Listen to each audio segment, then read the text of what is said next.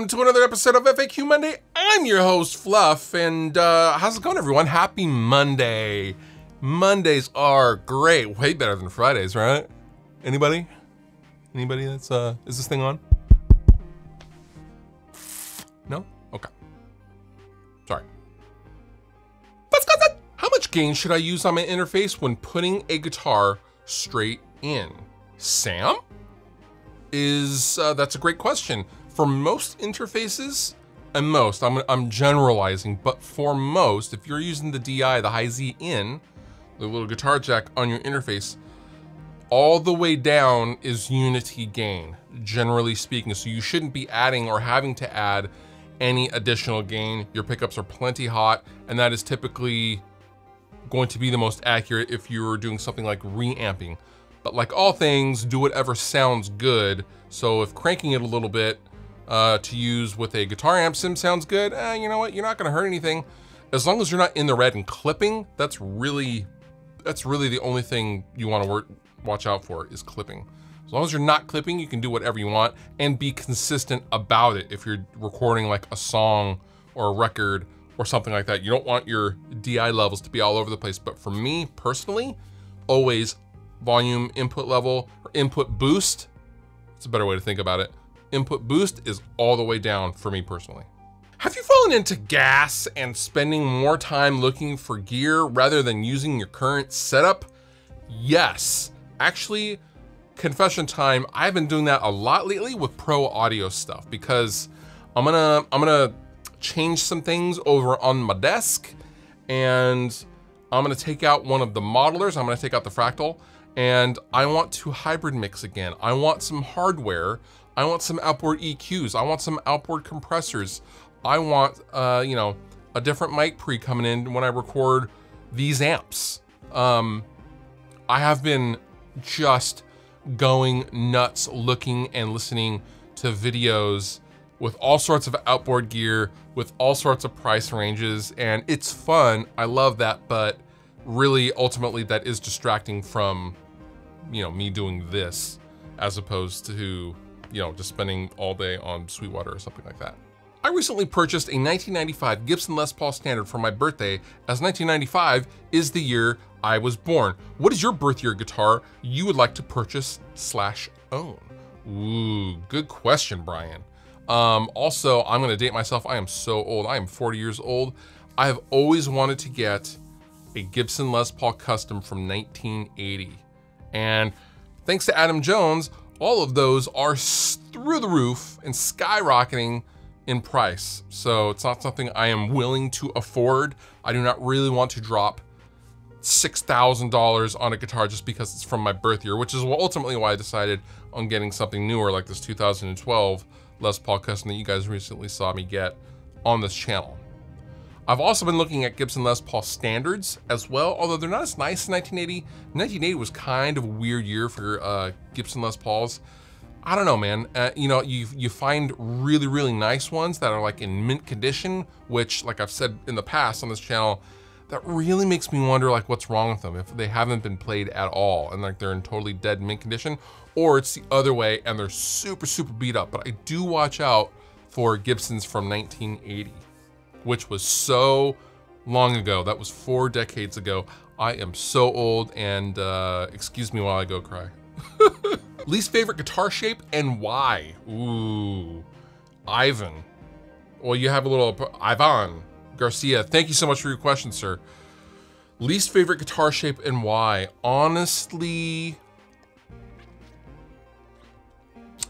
the Gibson Moderne is one of the most hideous things I have ever seen. Not even guitars. I'm talking anything. Like it, looking at that guitar and like thinking about playing it, makes me want to uh, punch myself in the face, amongst other things. But off the top of my head, a Gibson Moderne is like, I, mm, mm, mm, mm, mm, mm. I would, you could, you, I would literally turn down money to play that guitar. It's so ugly. It deserves to be burned before it breeds. That's how ugly I think that guitar is. What's what guitar do you guys think is the ugliest? What is what is something that just makes you go, ugh? Leave a comment down below. I want to know what guitar you guys think is the ugliest. Do you blend amps? If so, what is your process of making them play well with each other? Ooh, good question. Um, not recently. I mean, maybe I should revisit that kind of thing. Um, back in the day, when I used to tour about, I don't know, play a lot of shows, tour regionally, play around all over the place, I had two Randall RG100 ES half stacks, and it sounded killer. It was awesome. Very fond memories of my guitar tone back then. And I think it's called bi-amping. Um, Tom Long and Jerry, Jerry Finn famously used to do this in the studio with like Blink-182 and AFI and MXPX. But he would have, he would, you know, you have three, three EQ bands, low, mid, and high. And he would take half stacks and he would dial in one half stack for just the treble, one half stack for just the mid range, and another half stack for the low end. And when you blend them all together or play them all at the same time, you are allowing each amplifier to work on a specific frequency range as opposed to the whole, whole frequency spectrum, that makes sense. So this way you get a lot more clarity in what you're playing.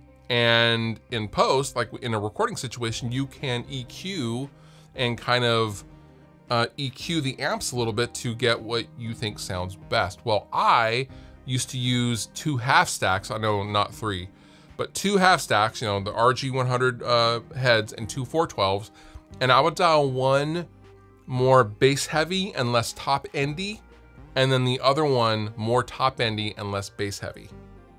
And they would blend really, really well together. That way you don't get a buildup of low end frequencies or low mid frequencies. It sounded great. Um, and if anyone has the means to even attempt or try this, I highly recommend you do so. It's a great experience, but that's basically how you get them to play well with each other. At what point would you say enough is enough when it comes to geeky guitar stuff? Have you seen slash read stuff and thought, that's just stupid? Miles Cookman, yes, I have. I mean, there's a few things where I'm just like, who cares? Like, who, who, who cares? Clearly, a lot of people do care about a lot of things. However, um, the Tonewood debate for me was pretty ridiculous um, because it doesn't matter.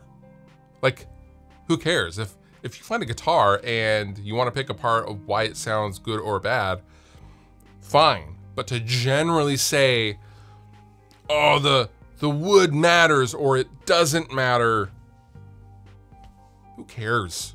I don't care. I want to I want to play a sick guitar that has, you know, that feels great and sounds great. Now, if I have to have a guitar made out of ground up doorknobs to get that, fine. Like I I don't care. Um or you know, does is the are you is it the sound of the pickup and the wood doesn't matter kind of a thing? All that stuff, man. Who cares? People get really upset about a, a lot of stupid stuff, in my opinion.